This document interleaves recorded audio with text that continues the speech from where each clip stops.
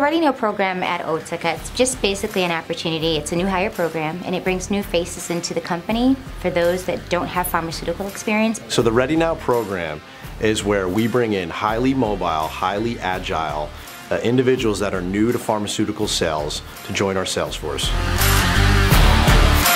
So when I stumbled upon the um, job description for the Ready Now program on LinkedIn, it was it was kind of interesting to me. It was a little different. It was fairly ambiguous, um, and so I looked into Otsuka a little bit more just to try and get a better idea of, of what the job was. And I really loved the the culture that Otsuka seemed to have. It, it, seemed a little different than some of the other big pharma companies. Just some of their values, right?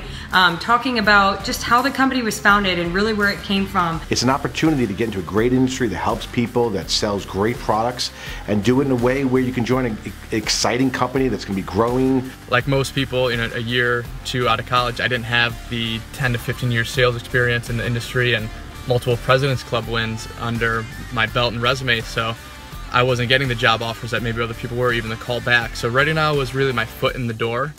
And then, you know, the cherry on top of that was being able to travel the country for the company and get paid to do it. So I get to leave home, see different places, and also get my foot into the pharma industry. So no brainer for me. The Ready Now role provided me the opportunity to work in various territories with many different account managers to gain experience and really establish my own best practices.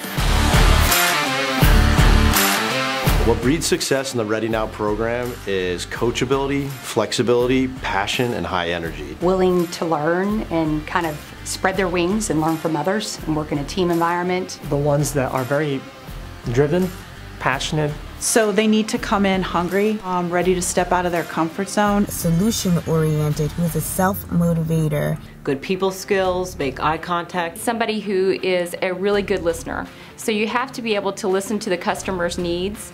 We're, we're not selling cars or widgets or you know some sort of item to a customer. You're dealing with patient lives. So you have to really listen to what those customer needs are and the, the other attribute that I think is very important is that you have to have passion around the patient. So you've got to find that patient voice and really have the passion around the patient to be able to sell in the pharmaceutical industry.